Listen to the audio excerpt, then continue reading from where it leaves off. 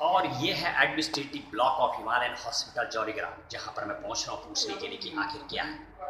ये देखिए।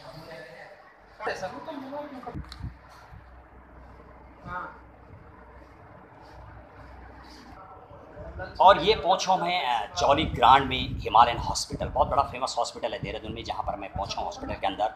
पूछ के देख रहा हूँ एक पेशेंट है यहाँ पर। यस सर क्या नाम है जी आपका? मेरा नाम है सर इलम सिंह। इलम सिंह जी कहाँ के रहने वाले हैं मैं उत्तराखंड।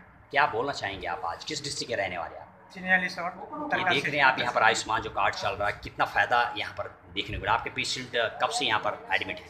हमें दून हॉस्पिटल से यहाँ रेफर किया गया था सर। हम्म, तो दूसरे दिन हमें बोला कि आप कल कल फैल आपकी चल जाएगी कल से। राइट तो कल सुबह से इन्होंने फिर आयुष्मान कार्ड में इधर उधर धक्के खाने पड़ रहे। तो क्या आपको उससे कुछ पैसा कितना पैसा लगे आपका अभी तक? अभी तो हमारा चालीस पचास हज़ार लग तो चुका है सर अभी जो पैसा आयुष्मान कार्ड में लगता है क्या आपको वापस मिलेगा या चलेगा वो? क्या बोल रहे हैं? ये तो पता नहीं सर वो बता रहे हैं कि इसमें बीस हज़ार की लिमिट है आपकी आपके ऑपरेशन के लिए। उसके बाद आपको पॉकेट से देने पड़ेंगे। हाँ तो क्या बोलेंगे आप आयुष्मान कार्ड के लिए? कहीं ना कहीं फ़ायदा हुआ है या कि नहीं हुआ है? क्या बोल सर हमें तो बताया जा रहा है कि आपको पाँच लाख का मिलेगा इसमें। अच्छा। तो तो कहीं ना कहीं पूरी तरीके से क्लियर नहीं है आप। चलिए बहुत बहुत धन्यवाद आपके लिए। और ऐसे देखने को मिल रहा कि पूरी तरीके से शायद ये क्लियर नहीं हो पा रहा है कि सिर्फ़ बीस हज़ार का इनको दिया गया है डिस्काउंट जबकि सरकार कहती है कि उसमें पाँच लाख के लगभग इंश्योरेंस बैकअप है।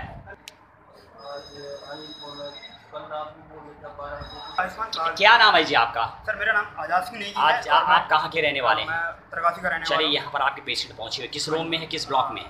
जो हम जो हैं चिन्याली छोड़ के हैं राइट और उत्तरकाशी से हैं। किस हॉस्पिटल में हाँ, आप? हिमालयन हॉस्पिटल में है अभी। ब्लॉक ही नंबर कौन से में?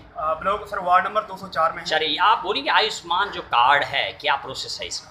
सर आयुष्मान कार्ड में आपको जो है दो जगह इसमें एडमिट होना होता है। या तो आप ऑपरेशन में हो या आप मेडिसिन में हो। राइट आप जिसमें एडमिट होते हो आपका उसी का चार्ज मिलेगा। राइट जैसे आप ऑपरेशन में एडमिट होते हो तो आपका ऑपरेशन का सिर्फ़ दो दिन के लिए वैलिड होता है। Right. जैसे आप आपका परसों ऑपरेशन होना है Right. तो आप आज उसे एडमिट कार्ड को उसको आयुष्मान कार्ड को लगा सकते हैं। राइट अगर आप दो दिन के बाद अगर आपका बाई चांस अगर आपका जो है ऑपरेशन आगे बढ़ जाता है फर्दर किसी कारण इसकी डेट एक्सटेंड हो जाती है तो आपका जो पैसा वहाँ से आएगा वो वेस्ट है। वो आपको फिर पैसा पॉकेट से देना पड़ेगा। हाँ उसके बाद जो है दो दिन के तो बाद क्या कह रहे हैं हॉस्पिटल आपके पेशेंट को कितने दिन हो गए? हमें सर एक हफ़्ते से ऊपर हो चुका है जब हम आए थे तो इमरजेंसी क्या बोल रहे हैं? आयुष्मान कार्ड नहीं ये कह रहे हैं कि आपका एक बार की लिमिट खत्म हो चुकी है। राइट इसके लिए या तो आप अपने जेब से पैसे दो। या तो सर हम मैंने सेंटर में फ़ोन किया था इनका हेल्पलाइन नंबर दिया हुआ है. तो वहाँ से हेल्प लेने के बाद इन्होंने कहा है अभी कि आप एक बार का अकाउंट क्लोज करवाओ. और दोबारा सा रेफरेंस कार्ड आप लेके आइए कहीं से और दोबारा आप अपना दूसरा अकाउंट क्लोज ओपन कराएँ। तब ये वैलिड होगा। हाँ तब ये वैलिड यानी कुल मिलाकर क्या कहना चाहते हैं आप? इस योजना को लोग समझ नहीं पाए पूरी तरीके से। इसकी शर्तें हैं क्या